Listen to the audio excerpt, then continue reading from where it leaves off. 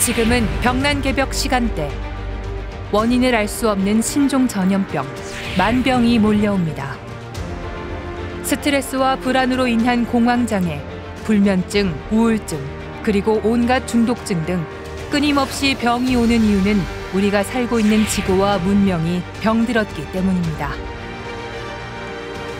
더욱이 지금은 우주 일련의 봄, 여름, 선천상극의 극한에서 후천 가을철로 넘어가는 대개벽기.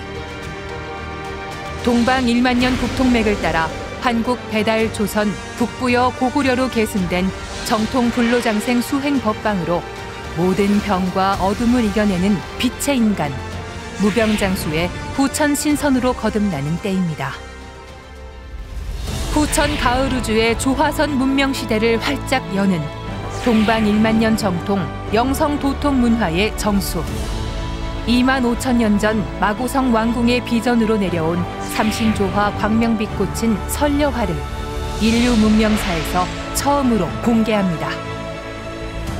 우주의 아버지 삼신상제님이 내려주시는 무궁한 치유 도건과 후천 150세 수명주를 전수받는 STB 동방신선학교 무병장수 설려화 치유 수행에 초대합니다.